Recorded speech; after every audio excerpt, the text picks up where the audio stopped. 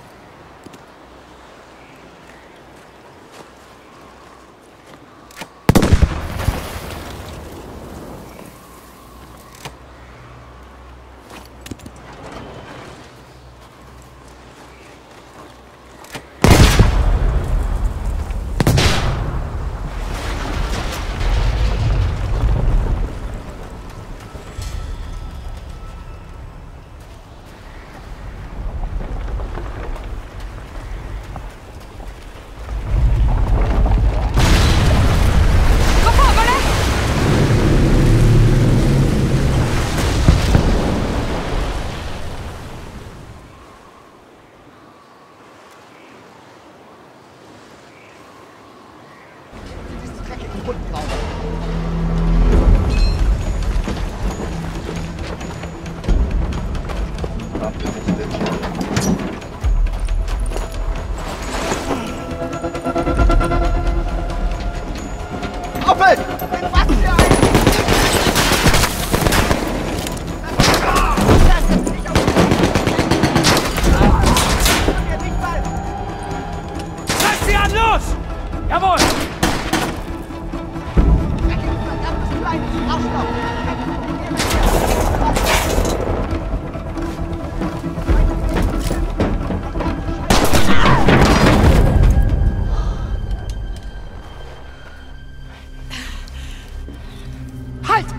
Schritt weiter!